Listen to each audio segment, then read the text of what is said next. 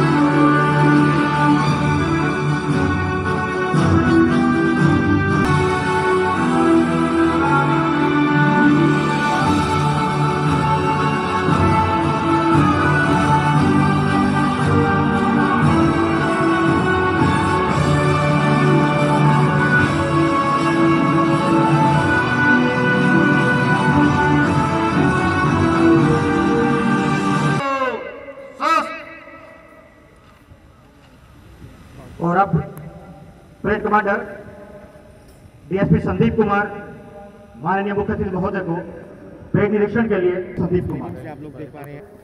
करनाल मंडल आयुक्त आज के समारोह में उपस्थित परेड के निरीक्षण के लिए जाते हुए पुलिस विभाग के वाहन में सवार होकर उनके साथ हमारे जिला के उपायुक्त महोदय एक गरिमापूर्ण एहसास हिंसा और अलगाववाद का इन सभी टुकड़ियों में अनुशासन और देशभक्ति की भावना स्पष्ट रूप से झलक रही है। आज़ादी की रक्षा के लिए हमारे नौजवान कितने सशक्त और असामाजिक तत्वों से निपटने में हमारी पुलिस हमेशा तत्पर रहती है। इनका जोश अनुशासन और उत्साह देखते ही बनता है। इसके बाद हमारी महिला टुकड़ी जो कंधे से कंधे मिलाकर महिला सशक्तिकरण का उदाहरण पेश कर रही है। हेलो हेलो और ठीक इनके बाद होमगार्ड।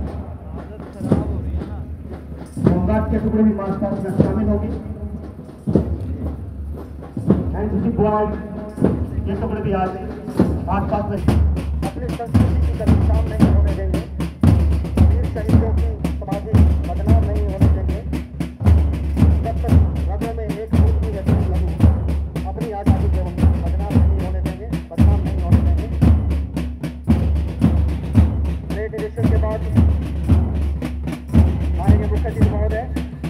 गणतंत्र दिवस पर आपका स्वागत करता हूँ। वो आपको बधाई देता हूँ। जैसा कि हम जानते हैं कि आज हम तिहत्तरवा गणतंत्र दिवस मनाने जा रहे हैं।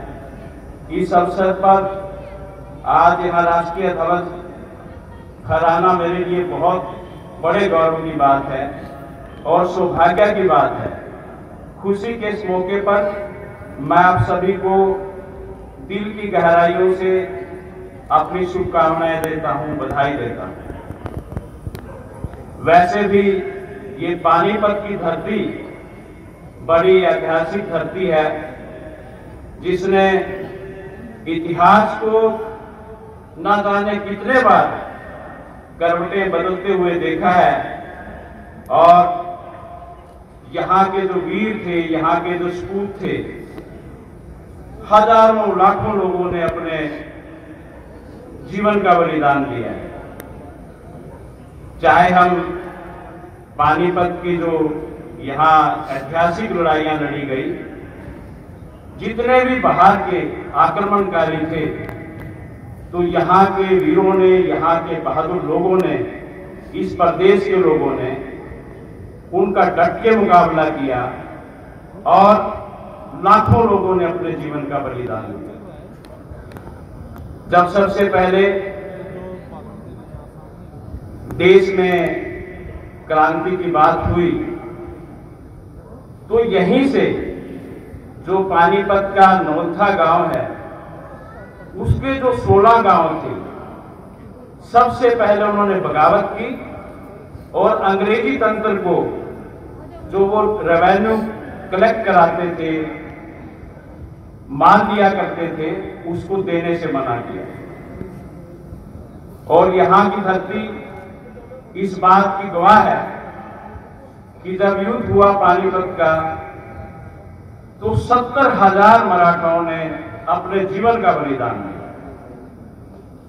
ये बलिदान इसलिए था कि हमने गुलामी को स्वीकार नहीं करना था। और भी आज़ादी के बाद, चाहे पड़ोसी देश के साथ युद्ध करने की बात है, उसमें भी इस ज़िले का बहुत बड़ा योगदान रहा है। और ये जो हरियाणा प्रदेश है, इसकी मट्टी में कण कण में वीरता भरी पड़ी है। मैं आज ऐसे महानुभावों को, जिनको इस देश के लिए अपनी जान का बलिदान दिया है, उनको एक बार पुनः अपनी श्रद्धांजलि भेंट करता हूँ। जैसा कि हम जानते हैं इस देश की आज़ादी में हमारे बहुत सारे क्रांतिकारियों का, हमारे नेताओं का बहुत बड़ा योगदान रहा है इस देश को आज़ाद कराने में चाहे हम राष्ट्रपिता महात्मा गांधी की बात करें चाहे नेताजी सुभाष चंद्र जी की बात करें चाहे हम शहीद भगत सिंह जी की बात करें राजगुरु जी की बात करें सुखदेव जी की बात करें चंद्रशेखर आज़ाद की बात करें उधम सिंह की बात करें और चाहे हम रोशन की बात करें बिस्मिल की बात करें लहरी की बात करें अशफाक की बात करें ऐसे लाखों लोग हैं जिन्होंने इस देश के लिए अपनी कुर्बानियाँ दी हैं। चाहे हम झांसी की रानी की बात करें, जिन्होंने अंग्रेज़ों का डट के मुकाबला किया और इस देश को आज़ाद कराने में अपना अहम योगदान दिया है। मैं आज इस मौके पर देश की आज़ादी के लिए जिन लोगों ने कुर्बानियाँ दी है, उनको इस मंच से चाहे वो ज्ञात नाम है या अज्ञात नाम है, ऐसे भी बहुत से नाम हैं जिनको इतिहास में कहीं ना कहीं जिन्होंने दर्ज नहीं हो पाए। तो ऐसे अज्ञात, ऐसे भाइयों को, ऐसी बहनों को, उनको भी आज हम अपने दिल से याद कर रहे हैं पूरा देश, और मैं आज उनको भी यहाँ से श्रद्धांजलि अर्पित करता हूँ। आज़ादी की इस लड़ाई में हरियाणा का बहुत अहम योगदान रहा है। हरियाणा के नौजवान सेना में भर्ती होना अपनी शान समझते हैं।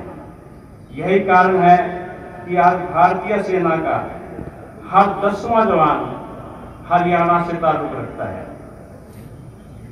भाइयों, बहनों, हमारे महान स्वतंत्रता सेनानियों के कठोर संघर्ष से हमें आज़ादी मिली है। और ऐसे हज़ारों लोग हैं, हज़ारों वीर सैनिक हैं, जो रात दिन हमारी सीमाओं की रक्षा करते हैं।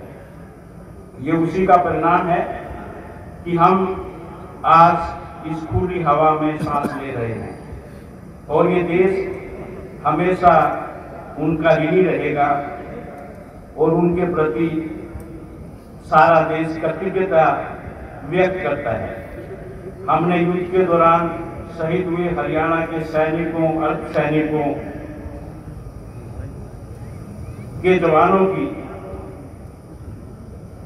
अनुग्रह राशि 20 लाख रुपए से बढ़ाकर हरियाणा सरकार में 50 लाख रुपए की की गई है।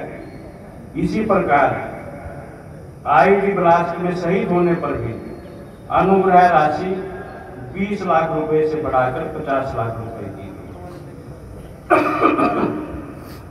युद्ध अथवा आतंकवादियों से मुठभेड़ में, किसी भी घटना के दौरान घायल हुए सैनिकों के लिए भी, इस प्रदेश में यह राशि 35 लाख रुपए की गई है और 25 लाख रुपए की गई है और जो घायल है 15 लाख रुपए की गई है।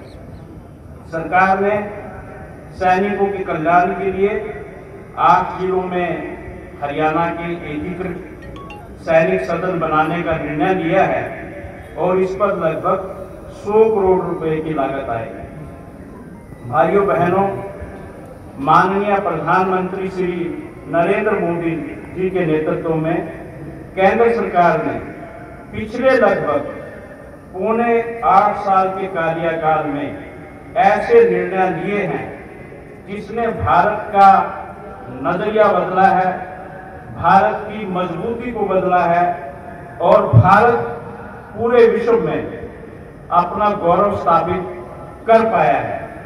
और आज इस देश की पूरी दुनिया में एक शक्तिशाली देश के रूप में जाना जाता है। हमारी पहचान बनी है। केंद्र सरकार ने जम्मू एवं कश्मीर से जो धारा 370 व धारा 35 ए को हटाने का काम किया है और जो नागरिक संशोधन कानून तीन तलाक पर प्रतिबंध लगाने, अयोध्या में भगवान, श्री राम का भव्य मंदिर के निर्माण कराने में ये जितने भी कार्य किए हैं, ये इस देश के लिए ऐतिहासिक कदम है।